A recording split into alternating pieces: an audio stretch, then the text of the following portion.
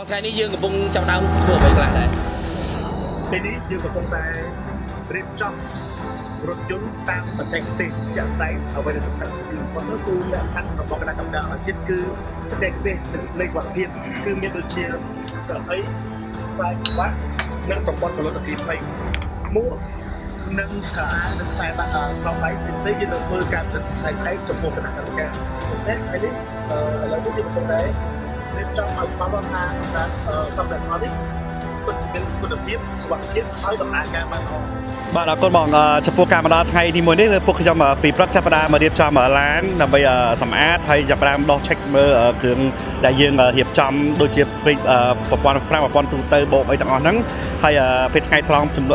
ហើយម៉ោង2ពួកខ្ញុំចាប់ផ្ដើមចោះឈ្មោះរួចហើយយើងរៀបចំការបិទ sticker ចំពោះការ logo ដែលខាង organizer រៀបចំឲ្យពួកខ្ញុំបាទ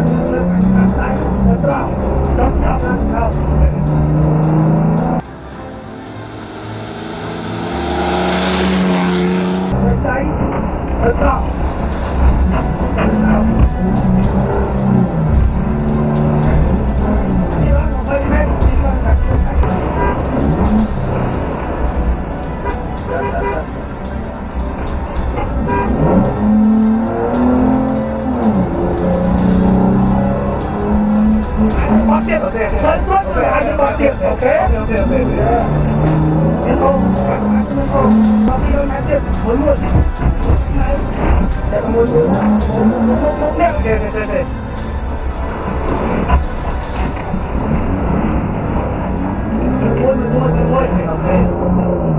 Thank you.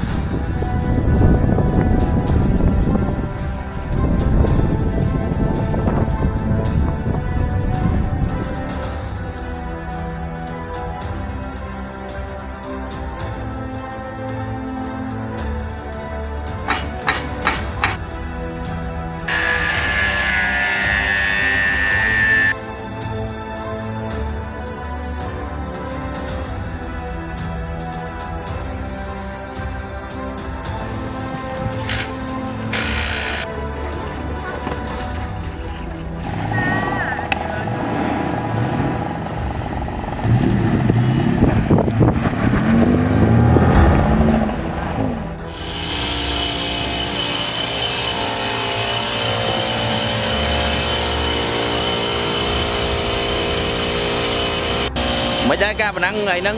ចាប់ដើមដំបូងអូផ្លូវពិតជាមិនធម្មតាទេតលុកមកហើយភ្លៀងទៀតរៀងទៀតបាទហើយលើនេះវាលិមិតស៊ូច្រើនមែនតើ4 5កន្លែងនៅវាស៊ូបាទតែអត់អត់មានបញ្ហាសម្រាប់យើងទេទួលឡាខ្ញុំវាអត់មានបញ្ហាទេបាទហ្នឹងអត់ដល់វារៀងបូមវារៀងនេះតិចព្រោះវាម្លោតួលើខ្លាំងពេក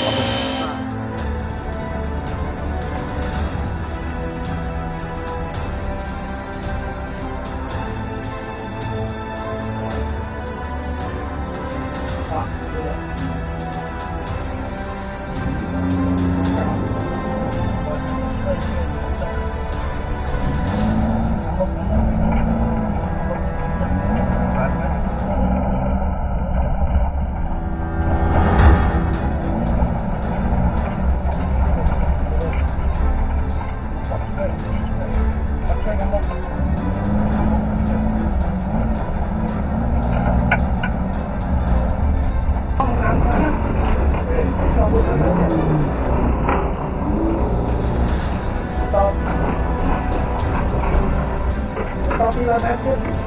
ទៅខាងតាមដៃបាត់ទៅតាមខាងខ្លាំង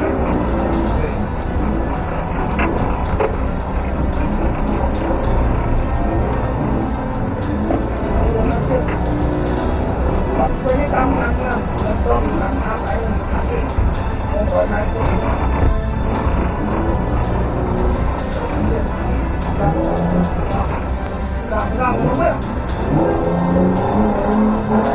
ៅ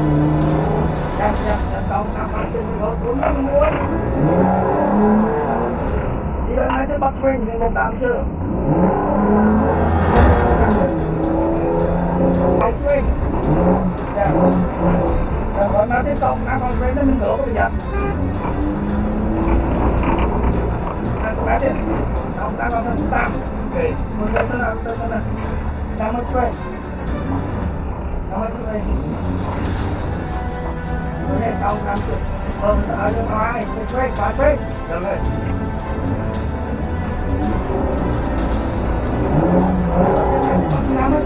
មកវិញនឹងលោកប្រយ័ត្នតែតែតាមតាមតាមតាមគេមកទៅទៅទៅទៅតាមមកវិញតាមមកវិញ Hãy subscribe cho kênh Ghiền Mì Gõ Để không bỏ lỡ những video hấp dẫn với những câu căng thẳng muốn cả nhà muốn muối muốn muối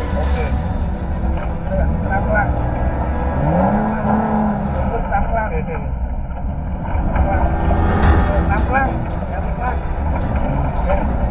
tất cả các bạn cái bật ra nó bị giặt nó luôn nó bị giặt lắm. Cái bật lên cho cái bật bật lên cái nam Thank you. Nào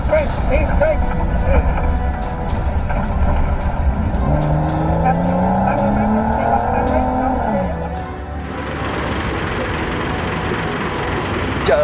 ចំពោះឆ្នាំនេះការប្រកួតនៅថ្ងៃទី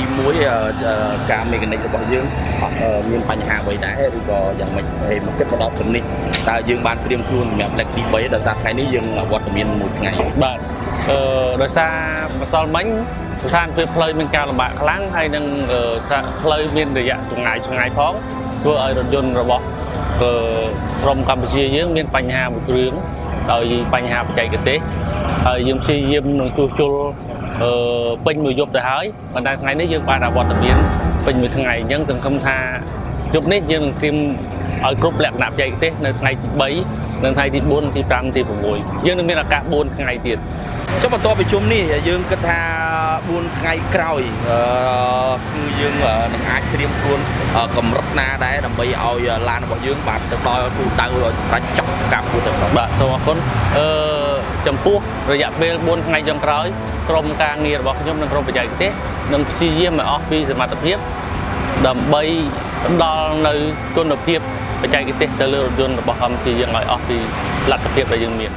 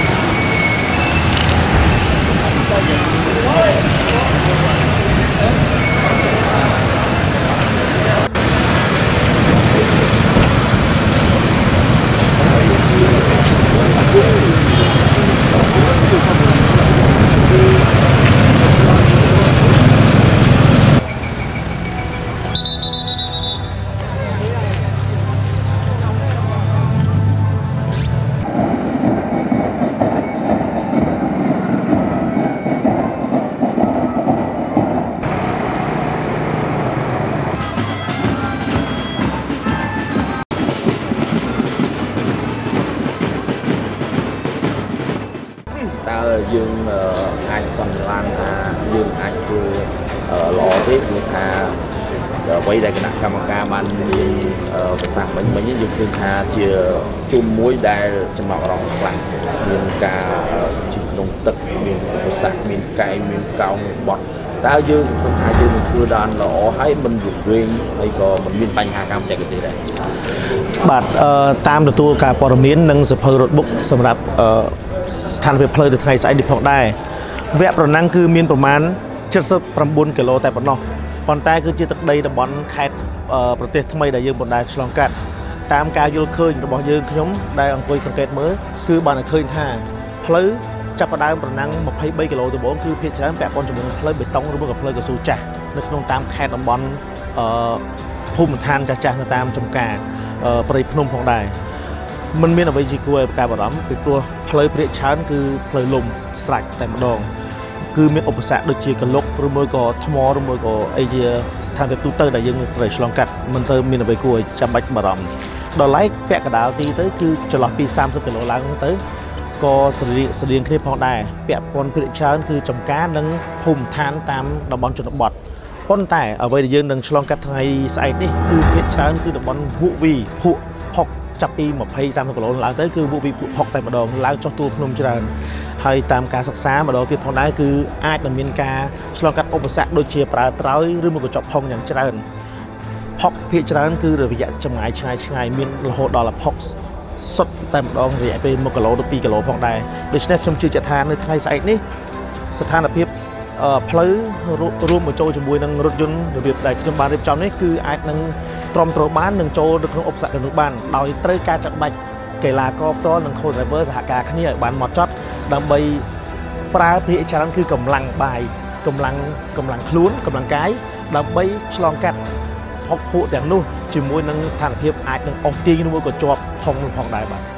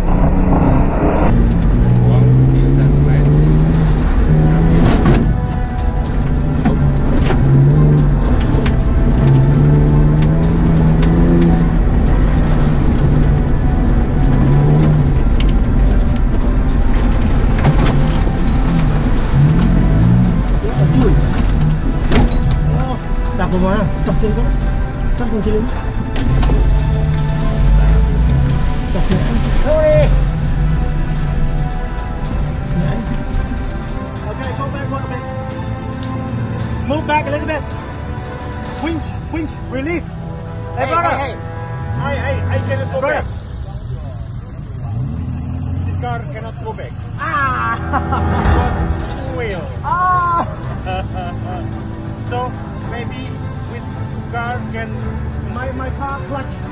Oh, smoke already. yeah. Oh, hút cho ba Oh, with rồi cho cả hai đỡ ở lao rồi tao bọc đi đó. Đừng có ngồi ở đây nhiều đâu lạc cầm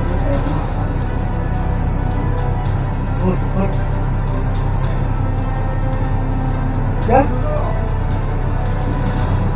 不是咱，咱可以了。啊，那。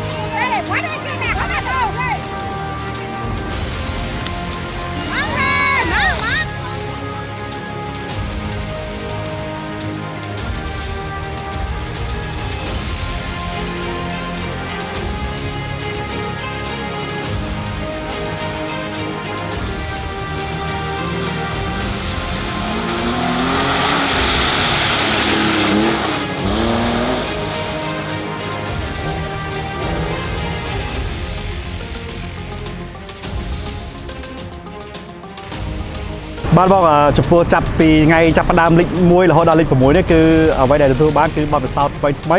ហើយជាពិសេសក្រុមធីមកម្ពុជាយើងទាំងអស់នេះគឺធ្វើបានបញ្ចប់ដោយជោគជ័យទាំងអស់មិនថាបន្ទុកយ៉ាងម៉េចក៏យើងព្រមទទួលយកដែរព្រោះយើងបានបញ្ចប់ដោយជោគជ័យដោយគ្មានការខូចឡានដោយគ្មានបញ្ហាទាំងអស់បាទចំពោះការវិតម្លៃរបស់ខ្ញុំគឺជាធម្មតាធីមយើងគឺចាប់ផ្ដើមល្អពីមួយឆ្នាំទៅមួយឆ្នាំដោយសារជាទូទៅបទពិសោធន៍យើងមានមានគ្រប់ផ្សំដល់គេហៅថា ពីមួយឆ្នាំទៅមួយឆ្នាំហ្នឹងគឺយើងធ្វើឲ្យយើងយកបទពិសោធន៍ពីឆ្នាំចាស់ទៅធ្វើទៅឆ្នាំថ្មីដល់ចាស់ស្ដែងដោយបញ្ហាឆ្នាំនេះយើងមានកង្វះខាតបន្តិចបន្តួចឬមួយក៏មានបញ្ហាតែគេខ្លះយើងនឹងយកទៅស្ថាបនានៅឆ្នាំក្រោយៗទៀតមកបាទអឺជាបឋមខ្ញុំសូមជម្រាបជូនថាការប្រកួតប្រជែងនៅក្នុងឆ្នាំនេះសរុបរួមនៃការស្ថានភាពផ្លូវបូកសរុបពីថ្ងៃទី1ដល់ទី2អធិស្ឋានទី2ប្រព័ន្ធចូលប៉ុណ្ណឹងទី1ទី3ទី4ទី5គឺយើងបានឃើញថា មានស្ថានភាពអាចនឹងងាយនឹងយល់ដោយសារតែអឺប្រទេសថៃបានឆ្លងកាត់យ៉ាងច្រើនដងរួចមកហើយដែលឡែកនៅក្នុងប្រទេសភូមាមានម៉ានេះវិញក៏គាត់ទៅតែរៀបចំក្នុងព្រឹត្តិការណ៍នេះលើកទី1ផងដែរដូច្នេះគណៈកម្មការគណៈកម្មការហាក់បីដូចជាដាក់ផ្លូវសមរម្យមិនសូវជាមានភាពលំបាកនិងវែងឆ្ងាយដើម្បីឲ្យយើងមានភាពសុខស្មាញអ្វីនោះឡើយដល់ឡែកថ្ងៃចុងក្រោយនេះគឺជាថ្ងៃមួយដែលប្លែកដោយសារតែផ្លូវភាគច្រើនគឺសុទ្ធតែថ្មឆ្លងកាត់ឧបសគ្គចុះឡើងទួលភ្នំ ហើយបើយើងប្រៀបពីឆ្នាំទៅនឹងវិញដោយបងប្អូនបានជ្រាបថាយើងក៏ធ្លាប់បានជាប់ដាក់ថ្នាក់ក្នុងចំណោមខ្លះសាំងបានដល់លេខ1ប៉ុន្តែក្នុងឆ្នាំនេះអខណ្ឌអ្វីគឺយើងពុំបានមានលទ្ធផលល្អឲ្យពិសេសណាស់ណាទេដោយសារតែយើងមានបញ្ហាបច្ចេកទេសនោះក៏មកពីដោយសារតែការធ្វើប្រហែសនិងការមិនយកចិត្តទុកដាក់នៅពេលរថយន្តកន្លងមកអធិស្ឋាននិយាយត្រង់ដូចជាបាទខ្ញុំពេលប៉ុណ្ណឹងចប់មួយឆ្នាំទៅមួយឆ្នាំយើងទីច្រើនគឺទុកឡានចោលទាំងអស់គ្នាយើងពុំសូវបាន ថែទាំយើងមិនសូវបានពិនិត្យបច្ចេកទេសទាំងនោះឡើយគឺយើងទុកភាគច្រើនគឺទុកទាំងស្រុងតែម្ដងដោយសឹងតែមិនបានប្រើប្រាស់ទៅសោះតតែ3ខែ4ខែចាប់ដើមទៅដល់ថ្ងៃកម្មវិធីបានយើងរៀបចំដូច្នេះខ្ញុំជឿថាទាំងបងសុំសុខសល់ទាំងបងហួតទាំងខ្ញុំបាទទាំងក្រុមការងារទាំងអស់គ្នាពិតជាមានផលលំបាកដោយសារតែពួកយើងទាំងអស់គ្នាមានទុរៈរៀងរៀងខ្លួនប៉ុន្តែដូចបងបានមានប្រសាសន៍មុននេះផងដែរគឺថាយើងបានបញ្ចប់ដោយ ជោគជ័យទាំងអស់គ្នានេះគឺជា